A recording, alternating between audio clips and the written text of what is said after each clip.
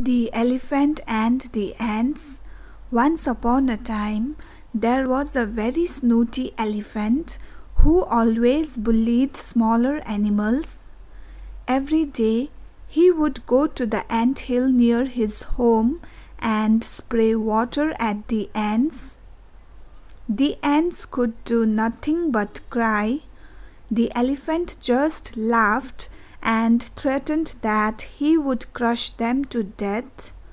One day the ants had enough and decided to teach the elephant a lesson. They went straight into the elephant's trunk and started biting him. The elephant could do nothing but howl in pain. He realized his mistake and apologized to the ants and all the other animals he bullied. Moral of the story Be humble and treat everyone with kindness.